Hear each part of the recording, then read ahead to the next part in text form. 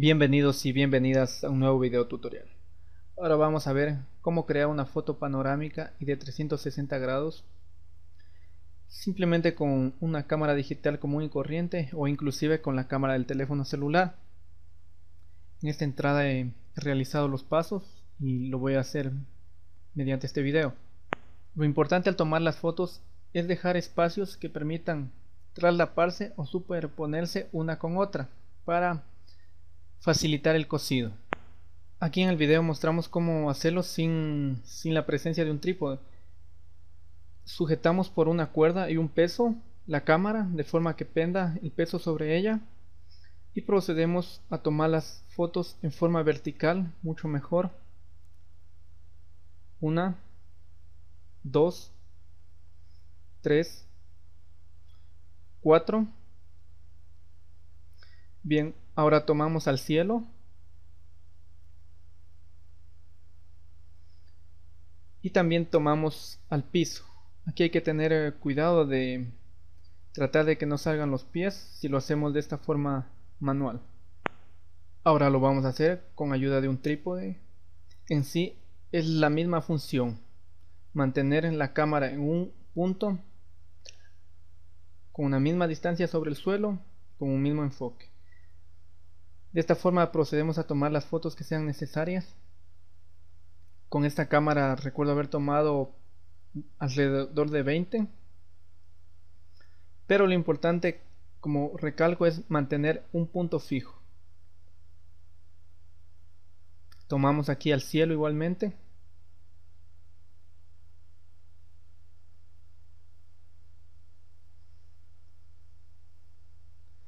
También aquí ajustamos las patas del trípode para tomar el, tomar el piso, manteniendo un solo punto como, eje. Aquí cubrimos nuestros pies para evitar que salgan. de esta manera hemos logrado capturar imágenes con una cámara digital sencilla. Esto de forma amateur, no tampoco es profesional.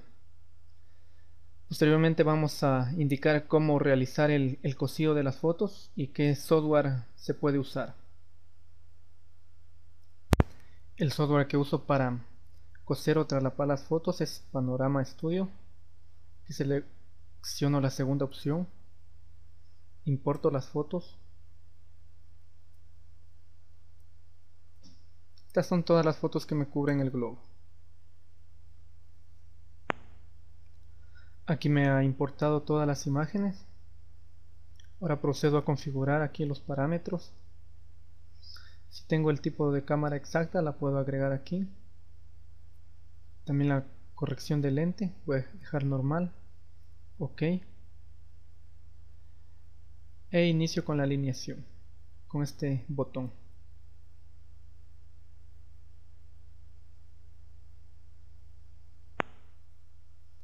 Aquí podemos ver como un borrador de lo que ha, sucedido, de lo que, del cosido. En una vista 2D, también tenemos la 3D. Entonces podemos ir revisando cómo va quedando nuestra imagen. Como siguiente procedimiento, para finalizar el cosido, vamos a renderizar aquí. Renderizamos y seleccionamos 360 por 180 aceptamos. De esta manera tenemos una imagen completamente X rectangular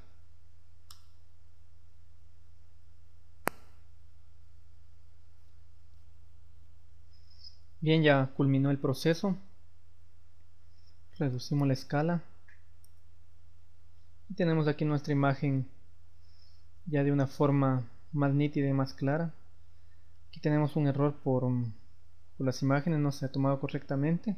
Pero estos errores suelen suceder y con algún software como Photoshop o Corel Paint Pro los podemos corregir. finalmente para guardarla o compartir nuestra imagen tenemos varias opciones aquí. Podemos guardarla como una aplicación, como un objeto de flash o como una imagen para posteriormente publicarla. Aquí yo le he guardado como PNG la guardo y si vamos a la página de, de 360 sitios ahí podemos tener una imagen como esta. Si la observamos. En 360 sitios yo tengo colgada esta imagen del tren. La observamos. Y corre perfectamente aquí tenemos todo el globo que se ha tomado Bien, aquí también he indicado, he puesto algunas opciones como estas imágenes, pues, que son también son panorámicas. Para construir estas es algo muy sencillo, como lo podemos utilizar con la galería fotográfica de Windows Media. Por ejemplo, aquí tengo tres fotos, las selecciono, me voy en, en crear panorámica y me está creando la imagen panorámica. me pide un directorio para guardarla, la guardo por defecto. Ahora tenemos nuestra nueva imagen. Aquí simplemente usamos la herramienta para cortar.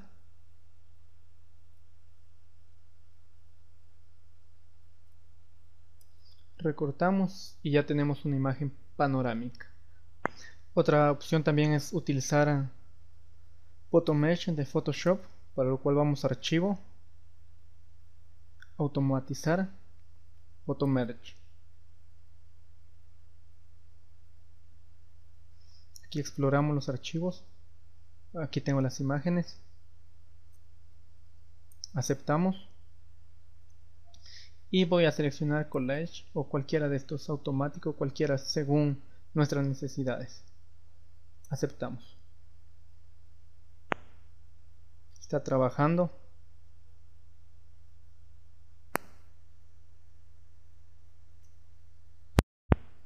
vemos que ya ha terminado y lo ha cosido mejor que la galería fotográfica de Windows podemos aquí también recortar los bordes